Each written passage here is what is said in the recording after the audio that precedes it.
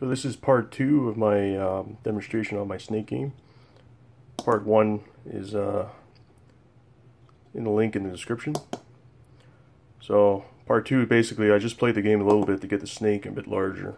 So you can kind of see like how this multi-display works. You know, I got my snake, which is a considerable length right now. I'm trying to get the apple. And as you can see, now the snake's tail is quite long, so now it's spanning over multiple displays.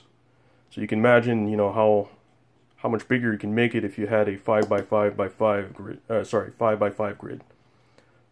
Uh, which again, if you'll uh, check one of my earlier videos on the, the concept of this microbit multi-display, I can scale it from either having one bit, one microbit, two, alright, here I died, so two, uh, two by two, three by three, which is what I have now, four by four, or five by five. As you saw here, it gave me the, the uh, score was 23, and the game restarts. So I'll, I'll think of other games, like possibly I was thinking of doing like a Tetris style game or Space Invaders.